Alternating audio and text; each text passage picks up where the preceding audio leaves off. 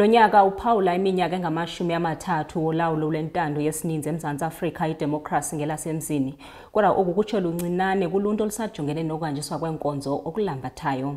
Indawo yegobityholo base-Ezibuzini eOrlando East iphakathi kweengingqi ezijabelene nomba wokuqhwalela kokwanjiswa kweenkonzo ngabahlali ababalula imiba yezindlu, uguntyulo kunye neendlela.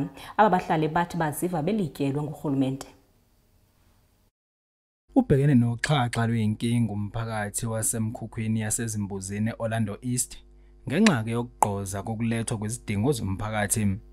Amalunga lomphakathi athi uhulumeni akawabheki nangeso nangela ngalomhlolo njengoba ke sekuphela iminyaka behleli kule ndawo kodwa kungekho nayinye indlela yokubathuthukisa. Lezi zakhamuzi zilanda kabanzi ngeyinkinga ezibhekene nazo. Sike sazama ukumrepotela umasipala ukuthi sicela asede lama toilet abantu inamba yabantu ikhulile iningi kakhulu and ama toilet mancane. And then ugcine sekwenzeka i-truck selifika kayi2 per week kanti before bekade lifika kayi3 ama toilet ke asehleze egcwele lama toilet agcwala one day.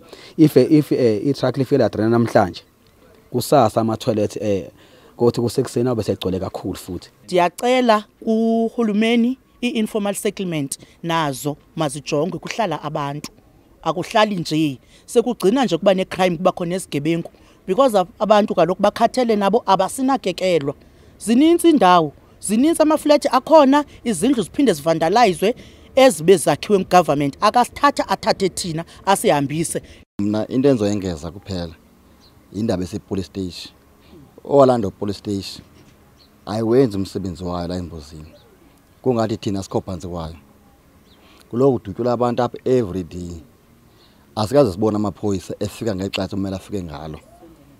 Asikho safety lapha indawo ehlala kuyo. Kusuka esigebengu phiphipi phiphipi sizodubula abantu apha kuqeda ukuthuleka lezi zakhamuzi zibalulene nokuthi ke sekuphele iminyaka emibili uhulumeni abathembisa ukuthi uzobelekelela ngodaba lwezindlu okuze kube manje ngabaphindanga bezwa ukuthi ithini inqubekela phambili ngalolo daba nokubashiya ke bezibona bewumtshingo bethwa ngibani bakhala ke nangokuthi konke lokhu kwenzeka nje izwe limatasa nokubungaza iminyaka engamashumi amathathu enkululeko bebebona besenkingeni. Ezindabeni zeSoweto TV kubika umqondisi Miyeni ngisezimbuzini eOrlando East.